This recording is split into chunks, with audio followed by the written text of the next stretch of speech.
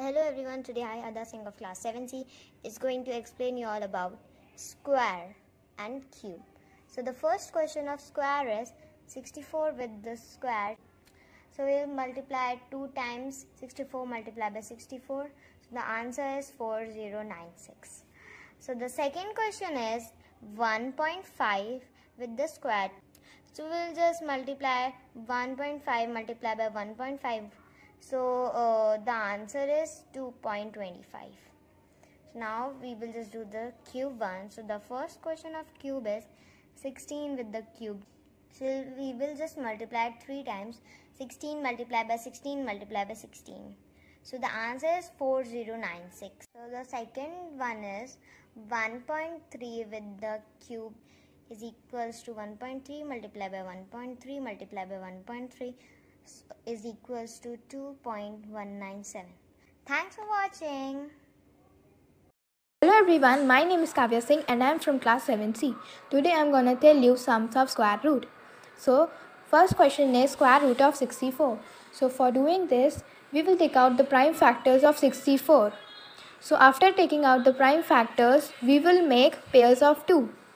We will write them like this.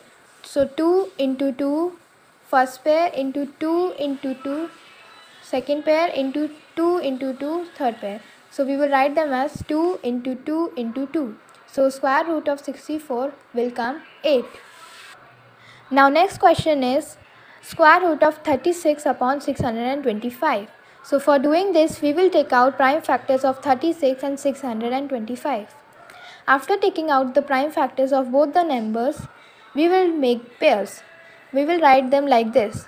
So 36 pairs of 36 we will write like this. 2 into 2 into 3 into 3 upon pairs of 625 we will write 5 into 5 into 5 into 5 now uh, we will write them like 2 into 3 upon 5 into 5 so square root of 36 upon 625 will come 6 upon 25 Thank you.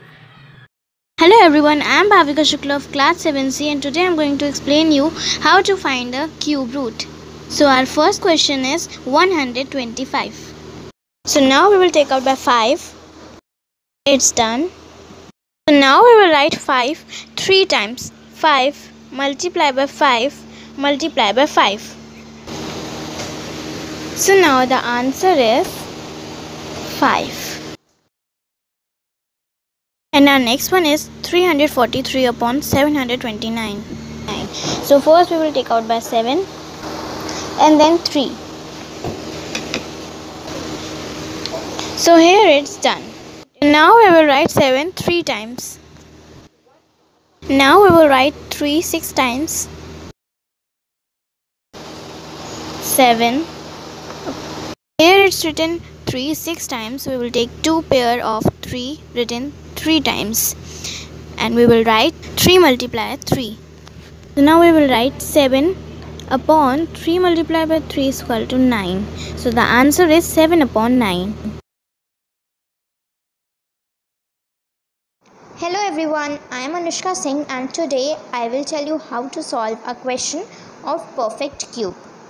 Suppose the question is find the smallest number by which 3125 should be multiplied to get a perfect cube. Also find the cube root of the number so obtained. First we will take out the prime factors of 3125. That will come 5 625s are 3125 5 125s are 625 5 25s are 125 5 5s are 25 and 5 1s are 5 in cube we make the triplet. So we have paired the first three fives remaining we have two fives.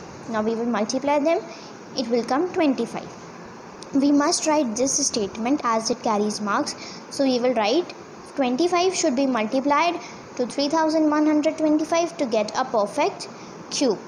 Now we will multiply 3125 with 25 so it will come 15625 now we will find out the cube root of this.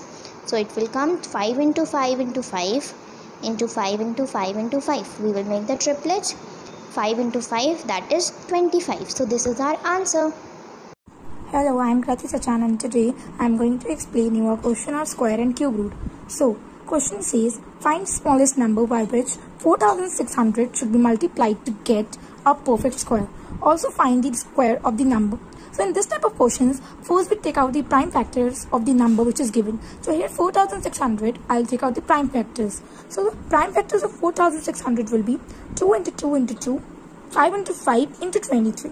Now here we have to make the square and square will doubling. We do doubling. So here two uh, here two twos are there and here five twos are there. So we can do their doubling. But here one two is there and here 123 is there. So we cannot do their doubling. So first we will multiply 23 by 2 or 2 by 23. So 23 into 2 we get uh, 46 right. Now 4600 should be multiplied by 46 to get a perfect square. So 46 into 4600 will be will be 2 lakh 11600 is our answer. Now we can easily do the doubling. So 2 into 2 into 2 into 2 into 5 into 5 into 23 into 23. We'll take it out 1 2 1 2 1 5 123.